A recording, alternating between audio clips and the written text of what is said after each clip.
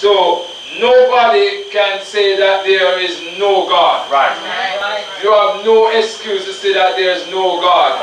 Because when you look at nature, you must start to think and say, there must be a supreme being that caused these things to grow. That's right. When you look at the birds that fly, Right. when you look at the animals that move about, you must think and say there must be some other powers that are in existence. And this is why no one of the excuse to say that there is no, God. Amen. Because you see it every day. Because that when they knew God, these are the persons who hold the truth of God in unrighteousness. Yes. When they knew God, they glorified Him not as God, neither were thankful, but became vain in their imaginations. And this is how idolatry comes about. My God. Idolatry comes about by vain thinking of mankind. Right, right. Man starts to think differently from how God wants them to think, or how God make them to think, when they start to think or give the glory to something else or someone else other than God, then they become vain in their imagination. And their foolish heart was darkened. So when we form idols in our lives, then we become like fools. Right, right. Our heart, our Darkened. hearts become darkened. Yes. And this is why sometimes you you'll be speaking to somebody and telling them about God, but they will curse you Right. and they will tell you all manner of evil because their heart is darkened and they believe that they are or believe that they are doing something good. Right. But it's because their heart is darkened why they can't understand, they can't see that they have an idol which they need to get rid of. Amen. Hallelujah. So this is how they, they profess to be wise. Yes. You can't tell them that they are not wise. No, no. Because they will want to show you even from the, the very Bible Yes. And show you things and say this is this and this is that. And they profess to be wise. But they become fools. Because what? They change the glory of the uncorruptible God into an image made like to corruptible man. This is the image, the idol image now where man create and they place it up and say, this is what you need to worship. Right. This is what you need to give thanks for. It's just like you'll go and you'll hear people will have maybe a cow, a car, and they will put up a statue in the in the in the in the sanctuary, and they will want to say, "This is how you must worship," and they place it there, and you'll have individual will come and before they start, they will do something like this and make some signs and all different things. Right, right. Those are idols. Right. They come become idol worshippers and they thought that they are doing something good. Right. Because what they are talking about characters that are in the Bible. And because they are speaking about characters that are in the Bible, they think they are doing something good. But they change the glory Amen. of the uncorruptible God. God is not corrupt. Right. He's not flesh. Right. He's not like unto man. Right? So when man starts to change his glory and give the glory to something else or someone else, they are building up idols to themselves. It says that, and to the birds and four-footed beasts and creeping things. This is how man form idols from birds, four-footed beasts, and creeping things.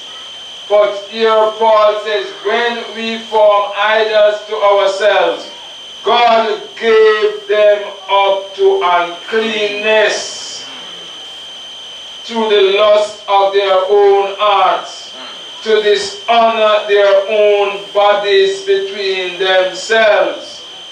When we form idol, God gave us up to impurity and we start to dishonor our own bodies and we abandon the, the plan that God have for ourselves. Right. And we start to do our own things. Wherefore God also gave them up to uncleanness through the lust of their own heart. Whatever your heart starts to tell, that's what you're going to follow. Yeah. When we have idols in our life, when we are putting things in front of God, it should be God first. The scripture says in St. Matthew that we are to seek ye first the kingdom of God and his righteousness, and all other things will be added. Right. So if we are not doing this, then we mean we are forming idols to ourselves. Right, right, right. And this is where we have to recognize God, recognize God more than anything else. And the more we recognize God and honor Him and give Him glory, is the more God will bless us, is the more God will lead us out of darkness, is the more He will take us through the valley of the shadow of death, is the more we will be victorious, right? Because we are putting God first. And we have to understand that in our life or in our way of living is not by chance. It's not by chance. And people sometimes say we are lucky. But I don't call myself lucky, I call myself blessed. Uh, because blessed is the man That walk- that walketh not in the counsel of the ungodly. It didn't say lucky you are. That's right. Blessed. It said blessed. So if we walk in the right path, we are blessed. Blessed. Right? As the scripture says that the steps of a good man Ordered. are ordered by the Lord. Yes. So when we walk, we don't walk by chance. We walk because God ordered Right. our steps. So anywhere you, you find yourself going is because your steps are ordered Ordered. by the Lord. And this is how we as children of God should live. We don't live by chance. We live and ask the Lord to direct our path. Who change the truth of God into a lie. So many times you listen to religious folks and they will open this Bible and they will turn the truth of God into a lie Amen. because they will turn it to suit themselves. Right. And then if you are not careful, then you believe that it is gospel Amen. and you want to follow what they are saying, Amen. but they just twist, twist it in order for you just to believe in them. But the word of God says, these persons turn the truth of God into a lie and they worship Yes. and serve the Creature. the creature more than the creator. Right? So they put more emphasis on the house, the car, the land, the job. Stay on. Right? Because if we have a choice to go to work or to come to church, we would have taken the choice to go to work. Because we will say that if I don't go to work, the boss will fire me. But none of us will take that stand and say, if I don't go to church, God will fire me. We always God have mercy. Right? But here, you know, we, we, we, need to worship the Creator more than all we worship the creature. Right. Right? The job is the creature, you know. That's right. But if rain is falling, we still push through the rain to go to work. No. Snow, we still go through the snow to go to work. But if rain or snow start, Can't go we, church. we say, boy, I can't go church today. Rain is falling, snow is falling. Right? We worship and we don't realize that all these things become idols. Right. These are idols that we don't even recognize that it is an idol. Amen. Right? Because we worship the creature more than the creator. And uh, the creator is blessed forever. My God. The creator is blessed forever. But we need to understand where we stand. Amen. Right? And uh, we need to get to that place where we trust God enough that we can say, okay, today is a special day at church. I am not going to work today because this day is a special day and I must give God the, the worship today. Right. And if we reach that stage where we can step by faith That's right. and say, To God be the glory.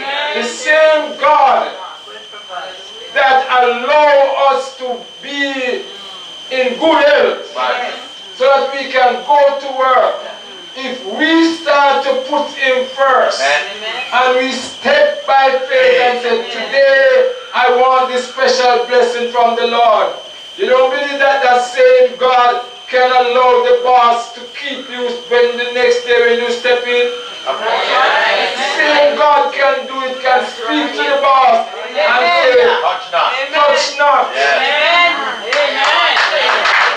And this is where we need to get rid of the idol. Right. Put the idol aside. Right. Because we would want to say, boy, I wonder what the boss going to do if I, if I don't go to work today and I go to church. We start to think on that level and we are not trusting the God and saying, this is same God give me that job.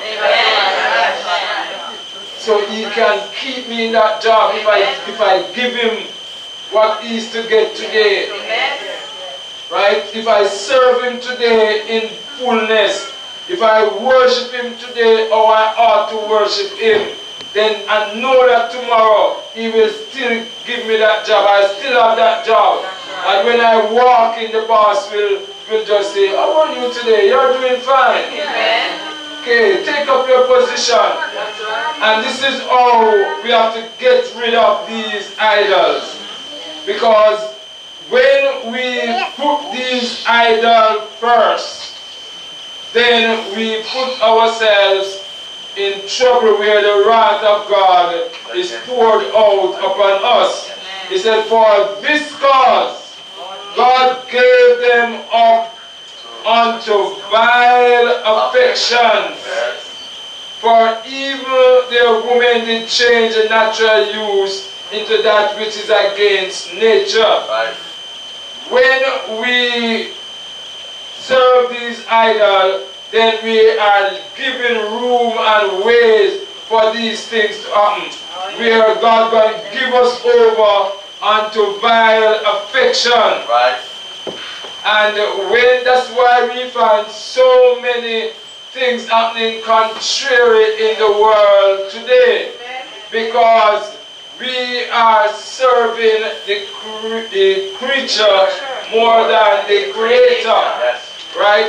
And if we were serving the creator more than how we serve the creature, then we wouldn't find so much violence in the place. Because we would recognize that the creator is love. Right. And the creator, and if the creator is love and you are serving the creator, then you must have love to distribute. Right.